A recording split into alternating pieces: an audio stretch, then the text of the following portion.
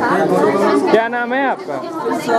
चुप रहो। क्या मामला हुआ है मामला ये हुआ हम रात में लाए इन्होंने हमसे रुपए जमा कराए एक लाख।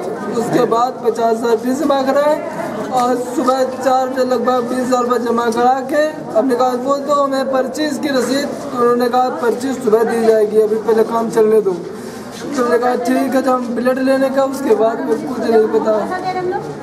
किस लिए रुपए जमा कराए थे? कह रहे थे कि हमने कहा मेरा मरीज़ तो ठीक कर रहा है ठीक कर देंगे कितना पैसा जमा कर रहा हूँ हम ठीक कर देंगे बिल्कुल। मौत किसकी हुई है? मेरे मिसेस के।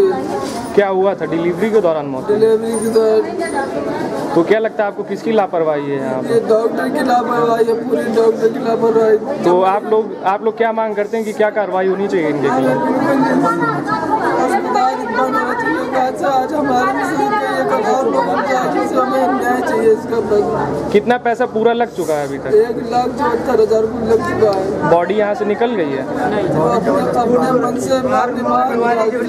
क्या अभी और भी कुछ पैसों की मांग कर रहे हैं?